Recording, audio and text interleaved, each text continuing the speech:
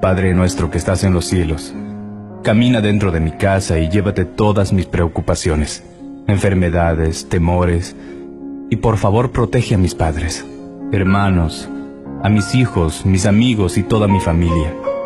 En el nombre de Jesús. Amén. Si Dios está primero en tu vida, deja de hacer lo que estás haciendo y envía este audio, para que así todos tus contactos hoy reciban una bendición. No hay silencio que Dios no entienda, ni tristeza que Él no sepa. No hay amor que Él ignore, ni lágrimas que no valore. Querido Dios, bendice las manos de quien habla este mensaje y llena de amor y bendiciones a quien lo comparte. Elige a quien dárselo. Los ángeles se han enterado que estás luchando por algo. Dicen que ya ha pasado. No lo cortes, por favor.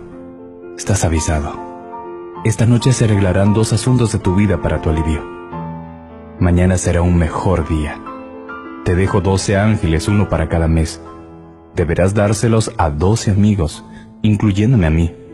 En doce minutos te llegarán buenas noticias. Hazlo con fe. Dios te bendiga.